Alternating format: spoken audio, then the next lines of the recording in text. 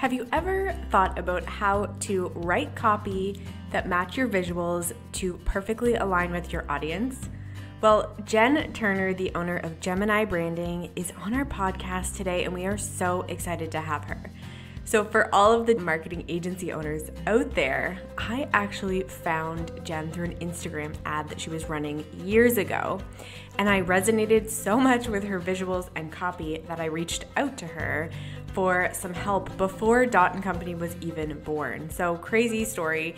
All these years later, she is now our copywriter, designer, and we work with her to ensure that our copy is resonating with our audience. So if you have ever been on our website or reviewed some of our copy, Jen is the one to thank. So we have asked Jen to come on and fill you in on how you can write copy and visuals that align with your audience using website templates that she's made and also really just touch on the story of how she's built this amazing branding studio that is a one woman show and she does it all. And Jen does such a great job at this. So she's going to fill you in on how she went from working in an agency to actually starting her own branding studio. And we're so excited to get into it.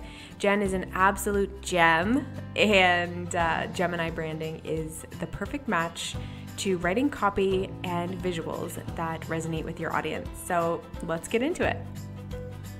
Welcome to the Happy Clients Podcast, brought to you by Dot and Company. Whether you're a virtual assistant, an agency owner, or a client facing account manager, we all deal with clients. Lucky for you, client management is what we do best. Now, let's dig in, chat cam life, and have some fun along the way. Cheers to happy clients. So, we're happy to have you here. Yeah, I'm so excited to be here. Thank you, ladies, for inviting me. Yeah. And Jen, for everyone listening, Jen was our copywriter designer since day one. So pre even I don't even the name wasn't even Dot and Company when we met Jen. That's and right. I think the first time we met, I was like, I'm gonna start this business and I don't even know what's gonna be called and I don't even know what we're talking about. Um, but can you help me write some copy? And you were like, Yeah, I have sure. a really awesome copy. Of course. yeah. it turned out amazing. And for the record, uh, the copy on our website has converted a lot of customers and mm-hmm. we get a mm-hmm. lot of compliments on people mm-hmm. coming to our website and saying, I know exactly what you do because awesome. I've read your copy and it's amazing. And I, Music to my ears. That's yes. the the best. It's like And from a client side, even of course you guys having a history and then me coming into it all, I really feel like the tone and like you get us and like that sort of dot vibe is there without maybe even, you know, meeting in person yeah. really so yeah totally it's surprising how quickly you can kind of you know pick up a voice just by talking with someone so mm-hmm. i feel like taylor you and i probably only had the one meeting before we actually started any copywriting but it gives you such a really good sense of who somebody is and how they come across mm-hmm. how they need their business to come across. And then of course i inject a little bit of myself into that process as well. So well it's amazing. And we're so happy to have you here on our podcast. Thank and you. for all of our listeners mostly agency owners or client account managers uh, we want to hear all about jen and gemini branding and what you do Absolutely. Yeah. So Gemini is a branding studio. Uh, I primarily serve female entrepreneurs. Um, and really, I came from an agency background myself, advertising agency. We primarily did uh, brand and web design. And I just found that in today's day and age, all of the focus is on visuals, and visuals are really exciting. They're really beautiful. They're engaging. They're the thing that kind of compels us, draws us in but so often voice is forgotten.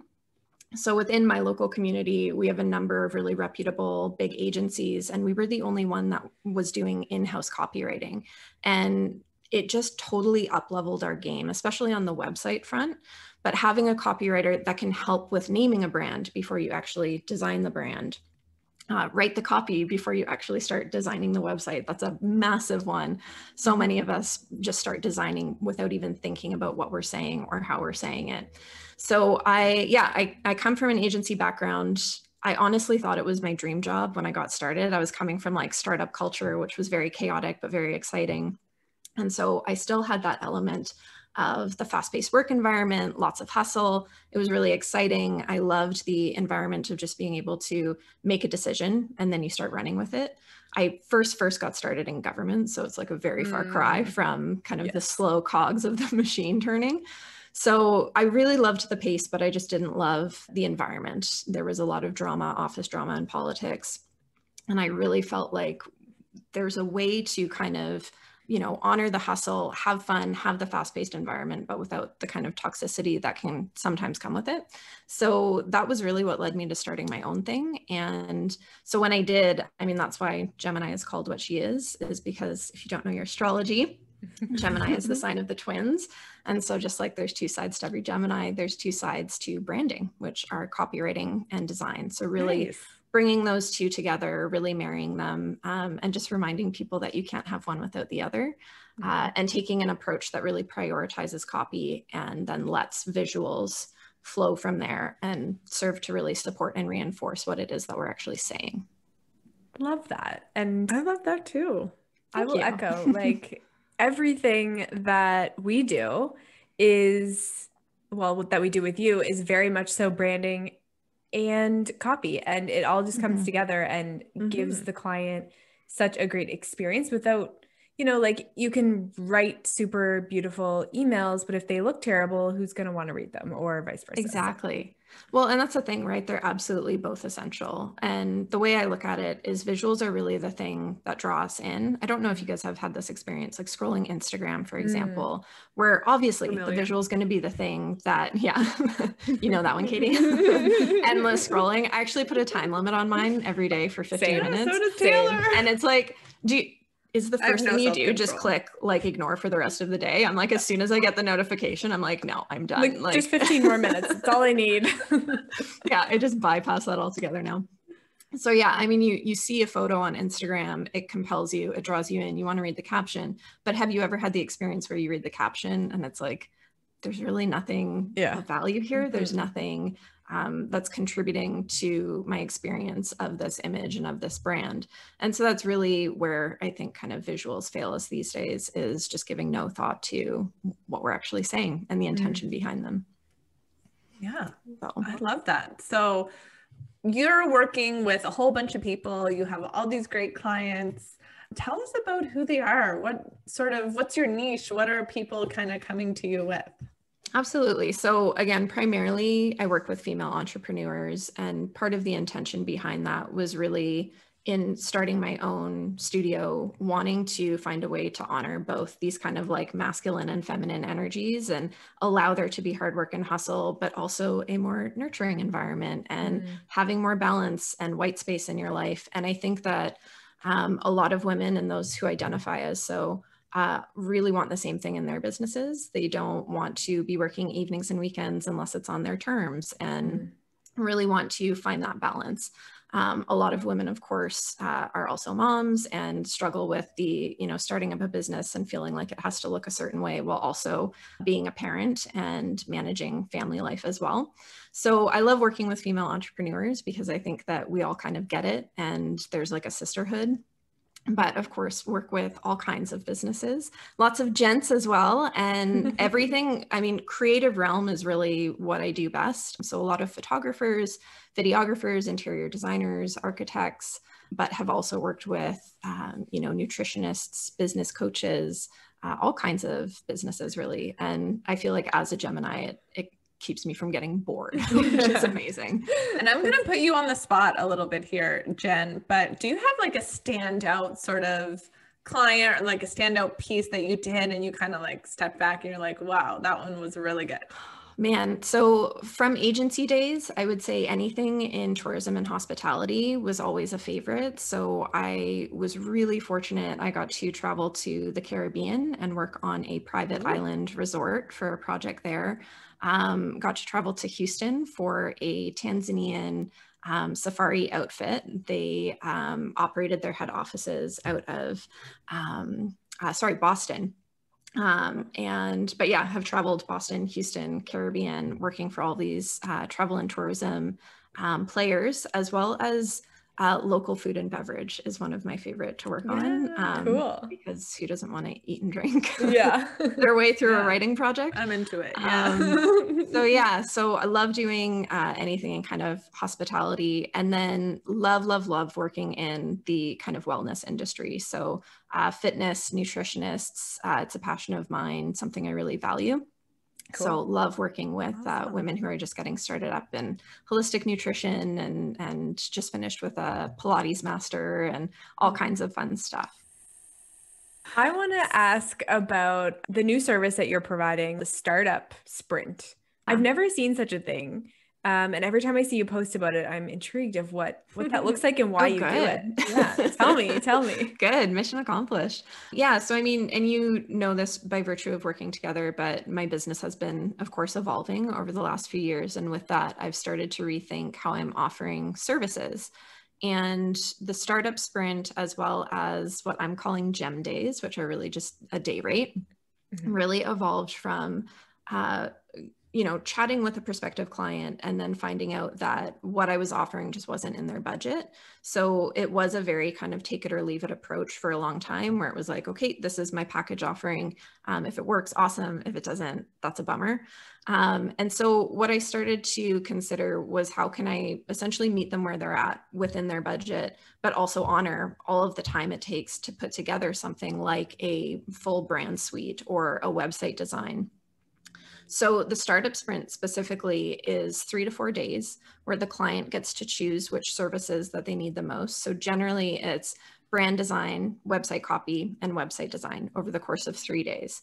So it's very intense. It's full eight hour days devoted to one client. Yeah and very stripped back. So, whereas you might invest in a full brand suite and get things like uh, social media graphics, uh, secondary logos, submarks, um, you know, letterhead, business cards, uh, brand guidelines, you know, all of these deliverables within a startup sprint, we're really stripping it back to you need a logo to get started. You, you don't necessarily need all of the other, right? Mm. So hmm. we'll get you a logo. We'll get you one page of website copy and we'll get you a one page website design. So in three days, you can effectively get up and running with the support of a professional. So you can count on your voice actually being exactly what it needs to be, your messaging actually communicating what it needs to. It takes all of the kind of questions out of the process but it also makes it affordable. So mm-hmm. because it's three days as opposed to eight to 12 weeks, um, it, it, yeah makes it a lot more cost effective for the client and just essentially offers another service solution um, for people at different budgets. I love that. Oh, I'm assuming these people come like pretty bare boned, right? Are exactly. they, do you have like, I guess, a structure? Like, should they have Shopify? Should they have Squarespace? Or like, do you have sort of, um, I guess, regulations? Yeah. So, I mean, generally speaking, when these people approach me, they either are totally unfamiliar with platforms and don't know what to use and are happy to uh, kind of go with my recommendations. The flip side of that is that I only work in certain platforms. So uh, because I primarily work with service-based entrepreneurs, Shopify isn't part of kind of my right. zone of genius. So for a long time, I was working in Squarespace, but found that it was very um, limiting in terms of what you're able to create. Um, it's very much based on kind of content blocks, as you guys are familiar with. Uh, so I've been transitioning over to Showit, which is a designer's dream um, for a client. If they're do, doing their own website, if they're DIYing, Squarespace is perfect. Mm-hmm. But for a designer, Showit opens up so many more possibilities.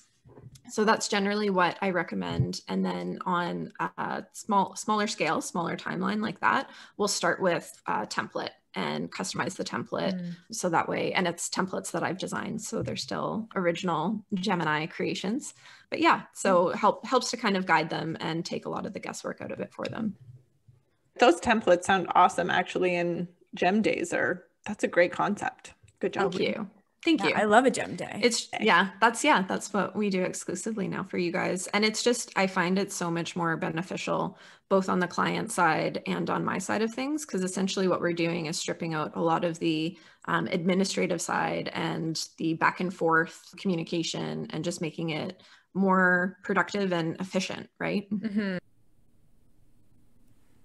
Okay, next question. So, a lot of small business owners getting started is a big hurdle because, you know, writing a website, building a website, creating it, writing the copy that's going to resonate with our audience is really tricky. And I know before we started Dot and Company, you helped to me to actually write copy that would resonate with our audience. And we have stuck with very similar copy to what you created in the beginning. And I'm so happy that I had that and it's absolutely changed our business. But what would you say for a small business owner who's looking to get started? How can they kind of use your expertise to build a website that is going to convert for their audience? I think um, for anybody who's just getting started, I haven't kind of unveiled them yet on uh, in a launch or anything, but I'm really hoping that it's going to make a difference within kind of the website template world there are so many gorgeous options like anytime mm-hmm. you're getting started with a new business and that you can go with but nobody's really prioritizing copy within those templates. It's one of those things where you buy a template, there's so many gorgeous ones for Squarespace and Showit, but then you're left to your own devices with copy. Yeah. So I've been working on a collection of templates to launch that are going to integrate copy into the template equation to Ooh. help guide people through the storytelling of what they need to be writing where on an about page or a home page or a services page. So I'm super excited about that. That's cool. So yeah. how will people use it? So if I'm Dot and Company doing client management and I download a template, how will I navigate that on my side? Absolutely. So essentially, the template itself is set up with sample copy in each page to guide you through what it actually looks like. And then you're given a companion document to workshop your own copy, but you can always reference back the template and see how a professional copywriter, i.e. me, has written the copy for a, you know, faux client. So um, you'll be able to look at, for example, the hero in your homepage and have actual direction for, well, what the hell do you put in the hero mm-hmm. of a mm-hmm. homepage? Mm-hmm. Like, what am I supposed to communicate there? You'll have actual direction for that and then um, prompts to help workshop that for yourself. And then you can always reference back to the template to see, well, this is what Jen wrote and what she would do, for example, a business coach, and be able to kind of use that as an example and a guideline for writing your own copy. Cool. That's cool. I you that's going to be so helpful actually because I actually I like to write copy, but it can actually just take so much time when it's totally. not like the the uh initial sort of go-to part of your brain that you're using, right? So absolutely something yeah, to have like a reference. Nature. People will know what they're doing, they know their business, but like to have that reference to kind of bring mm-hmm. out the best is really absolutely. awesome. Like so helpful for sure. Yeah. And I think we've all had the experience of like sitting down at your keyboard and just like the blinking cursor on yeah. a blank Word doc is just so intimidating, right? It's like, I don't even know where to start or what I'm supposed to say. And you might have ideas, but it's difficult to know how to kind of focus them all in and actually create something good with those ideas, mm-hmm, something mm-hmm. that people actually want to read. So this will be, you know, less about the uh, kind of how to of sales copy and more just like a structure to actually writing copy and what to say in certain areas. Mm-hmm. But I will say, like, you know, templates aside, one of the most common mistakes I see in website copy is making it about us instead of the person who's reading it. So I feel like we've worked on that a lot in the different pieces that we've worked together. It's always about the user, right? It's always about the person who's reading it. So if somebody's listening and they've got their website set up, they've got their their copy in place and they just want to DIY and figure out a way to elevate it for themselves, that's a really good place to start is getting in the minds of the people who are reading it, understanding the problem they're experiencing, how they feel about it and then starting mm-hmm. to tweak your copy from there so none of this like hey we're dot and co and we're this this and this it's like i see you and i know what you're going through i know the hustle of agency life and how hard it is to keep up with everything it totally shifts the experience of reading copy and it's the thing that makes you want to read more instead mm-hmm. of just mm-hmm. giving up mm-hmm. yes yeah. 100% so yeah. I naturally obviously want to touch on clients as well. Mm-hmm. So Jen being a one-man show at Gemini and obviously managing a whole slew of different clients and projects and probably doing everything in between from invoicing to sales and mm-hmm. admin. How do you find managing clients when you're also the creator of your work? Mm, interesting question. I kind of feel like they really go hand in hand. So I can't really Mhm. create unless I know my clients intimately and have a really good sense of what they value. So, on a more kind of practical level, managing clients, I mean, certainly the kind of administration side isn't my favorite. So, I've contracted out help. Like, I have a, a full time bookkeeper that takes care of all of my bookkeeping because that was like, by far from day one, I was like, I need to get rid of this. This is not my favorite piece. I am such a Gemini. Like, I have different sides to me, different facets, and there's the creative side, but there's also an analytical side. So, I don't actually dislike doing a lot of the administrative stuff because I know that if I do it, it's going to be done right and it's going to be done well. Um, hopefully, very few errors and that kind of thing. Um, but yeah, I think it's just like when you're a solopreneur, it's just part of it, right? Is finding the balance and being really aware of how much time you're investing on the administrative side or project management, client management versus the creative side. So um, I think it's uh, in the E Myth he talks about the three different kind of facets of being a business owner. You have the technician, which is the person that does all of the creative. So that would be writing and design for me. You have the manager who's doing all of the, of course, management and administration, and then the visionary. And so for me, it's kind of uh, constantly evaluating where I'm spending the most time and is that where I want to be spending the most time. So I really love the technician aspect and I love the visionary aspect. I would like to do a bit less on the management side. And so that's when I start to look at do I want to hire out a VA or do I want to hire a bookkeeper or this or that, just to kind of make sure, keep myself in check and make sure that I'm allotting my time the way that I, I really want to be.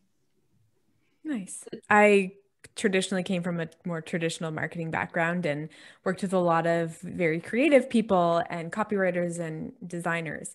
And my role has always been the middle person of mm. the, either the client account manager or the project manager. And a big part of my role is taking clients' feedback mm-hmm. and massaging it to make sure it's makes sense for the creative, doesn't mm-hmm. offend them, Mm-hmm. Um, and is which you're actually, amazing at, by the way. thank you. and is actionable in a way mm-hmm. that kind of makes sense.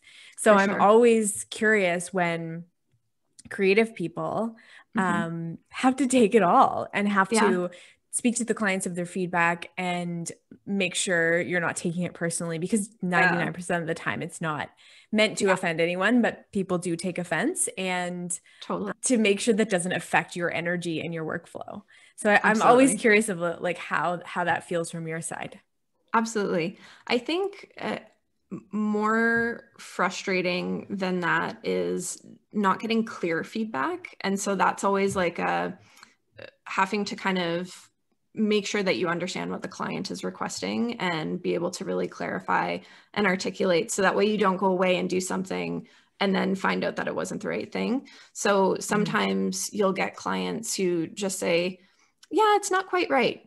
And it's like, "Okay, so so what about it, right? Is it colors? Is it fonts? Is it yeah. Uh, you know, or if it's voice, it's like, well, it's not quite right. Being able to articulate what isn't right about it can be mm-hmm. really difficult for a client. Mm-hmm. Understandably so, right? Because if they're not a creative, it's like, yeah, I just, I know something isn't quite there, but I don't know how to articulate it. So as a creative, you have to have the communication skills to actually kind of draw that out of them and figure out what it is and be collaborative enough and open enough and to your point taylor not take offense or take it personally to really be able to dig into okay well what is it and honestly, when that's the issue and it's a matter of clarification, you forget about taking anything personally because you just want to figure it out, right? Yeah. You just want to yeah. zero in together. But yeah, it's it's a totally valid point. And I think there's definitely some creatives that not only are a bit more prone to taking it personally, but they just don't want to have anything to do with that side of things. Mm-hmm. the client communication the administration they just want to be creative. And i'm definitely not one of those creatives. Like i really enjoy the client experience and and just those are the people i get to connect with in the day. Like if i don't have these interactions it's literally just me at my desk. So i really value that time. I enjoy meetings. I streamline them so i don't have too many but mm-hmm. i really enjoy that so that's amazing it's a and, great skill to have, Jen. I'm not sure many people can yeah. share that with you. So thanks. Yeah, I Um, was gonna say most agencies or or business owners are not like that. They don't Yeah. want to do all the things and they get so overwhelmed with, you know, it's either the creative that they don't want to do or the admin or yeah. but to be able to do it all is The awesome. combo. Yeah. Totally. And it's yeah it's definitely it's a work in progress kind of thing like finding that balance of the levels that kind of make me happy. I definitely don't want to be doing all admin all the time but it's a reality of owning your own business and it, it was never my dream to own a really big agency. Like it was never a or even a small agency. It was always i love my independence and i love my freedom. And so contractors have always been kind of what I think is the best solution for my business structure. That's awesome. Yeah. Where do you see yourself going? Do you want to keep it like just you and and grow that way or what what are your goals? Yeah, definitely. I could definitely see bringing on um, a VA, somebody to support with some of the more day to day tasks to free up more time for me to do the creative. But this year was a really big year pivoting my business model toward more of the startup sprints, the day rates. And so far, it's been received so well. It seems to be what clients are really wanting. I think, especially during the times that we're in, uh, COVID, you know, over a year in has been really wearing on people and their pocketbooks and what they're able to invest in right now. So honestly, I just want to move more in that direction, offer a few more kind of productized services as well as uh, the website templates, just to offer a greater array. Um, and going into this year, my kind of goal was to work less to make more.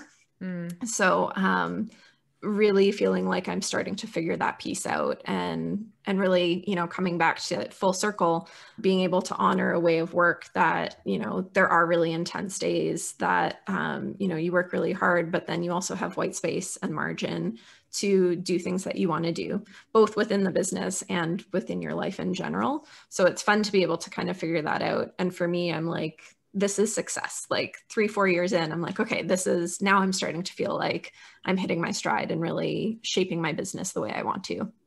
Love that. Love that. Thanks. So So, what- supportive. Yeah, like we're all about it. All about that. Like I know. what- it's like she was Sorry. speaking our she was speaking our language for sure. Like that's Aw. and I feel like that's even the message we must be seeping into your brain because that's like the message you're even like writing for us and we're trying to get out there too. So So true. Yeah, yeah. absolutely. well, it's work on your terms, right? hmm What does success mean to you? Like, is it like time freedom? Is it location freedom? Is Mm. it financial? Like, what's like the main thing for you? Mm-hmm.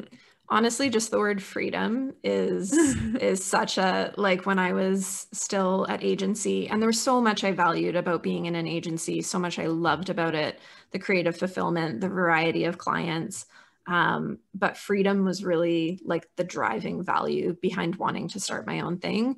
Creative freedom being free to choose the clients i work with and choosing clients that really align with my values time freedom, being able to work from wherever, locational freedom. So I think just freedom in general. Like from the time I graduated university, I always knew that I didn't want to work for someone else, but I didn't know what that looked like. Mm. And now I've kind of I've had enough experience and gone down my career journey where I'm like, yeah, I know what it looks like and I know that now I can do it with that freedom. So Love Yeah. that. Well, Jen. success. Check. check. Freedom. Thanks, girls. Yeah, freedom. I'm playing, hey? I'm playing George. Who was it? George Michael in my, in my head. Love it. Yeah. No, it's a good life. And I mean, you girls have that too, right? Like the ability to work from home and to, you know, you're a team, Hmm. but you don't all have to be in the same place. And yeah, Mhm. Yeah. even just Def- working from a coffee shop or going Oh for like gosh. A walk at lunch. Like I hated Oh, yeah. the restrictions of the nine to five. I like, think like oh. not getting up and showering and putting on, you know what I mean? That's like an hour out of your morning. Like I'd rather go down to my jammies, have my coffee, yeah, scroll my feeds. Totally. And I just think too, like, I don't know about you girls, but like, I'm not a morning person. I have tried and failed. I'm the So, opposite. Are you Taylor? Oh God. I'm remember reading, yeah, in an Yeah. Instagram post that you were like, this was like a year or two ago, but that you were like increasing, you know, you were getting up even earlier, like 15 minute increments Yeah. even Yeah. earlier. And I was like, I'm oh, definitely geez. Makes no sense, Yeah. I I've tried. I honestly feel like my life would be perfect if I could get up at like 5:45 every day. I'd be like I could do everything I wanted before I started work. Yeah. Like but I've tried and just not succeeded. And I'm like, the, That's okay. the traditional structure of oh an office environment does not allow for any flexibility Yeah. Mm-mm. Well, amazing, Jen. Thank you for coming on. This was really course, great. yeah. And I mean, we work professionally together all the time, but it was good to connect kind of quote offline and totally get a little insight into what you're up Yeah. to. awesome So where Well, can you, we ladies. yeah, where can we find your templates and learn more about Gemini and all of the things? Yes. So on Instagram, I'm Gemini Branding at Gemini Branding. And then on the interwebs, I am GeminiBranding.ca. So I'll be teasing all things website templates and up and coming goodies on Instagram. And then you'll be able to shop them on GeminiBranding.ca. Amazing. Yay. Thank you, ladies, for having me. It was so yeah. fun. Thanks. So fun. We'll have you on again. Great. Sounds good. Here's to happy clients.